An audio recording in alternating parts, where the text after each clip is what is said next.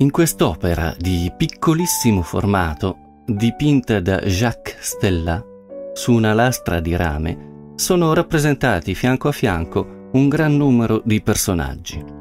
Gesù bambino è seduto sulle ginocchia di Maria. Elisabetta, suo marito Zaccaria e il loro figlio Giovanni Battista porgono dei doni al bambinello. Anche quattro angioletti rendono omaggio al Salvatore con fiori e grappoli d'uva, frutti della terra.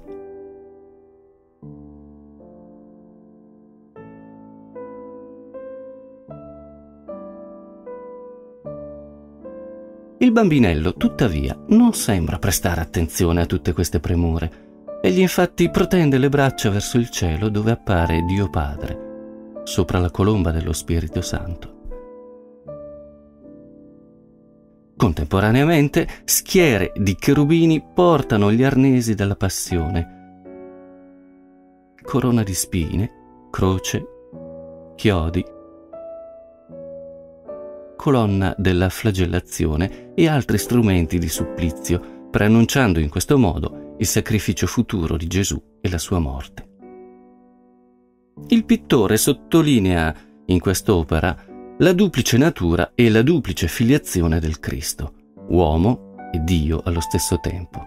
In questo modo l'artista illustra una delle idee teologiche dominanti all'inizio del XVII secolo. Nel 1627 il cardinale Pierre de Berulle scrive a tal proposito Gesù Cristo è Re, è Re nato potendo contare su una duplice nascita e una duplice essenza, una in seno al Padre, l'altra in seno alla Vergine. Egli porta la qualità di re e sovrano nell'una e nell'altra delle sue due nature.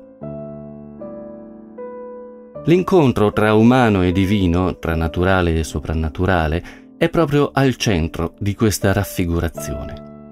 Jacques Stella organizza lo spazio di questo incontro in una composizione simmetrica tramite un contrasto di linee di costruzione che collegano i personaggi.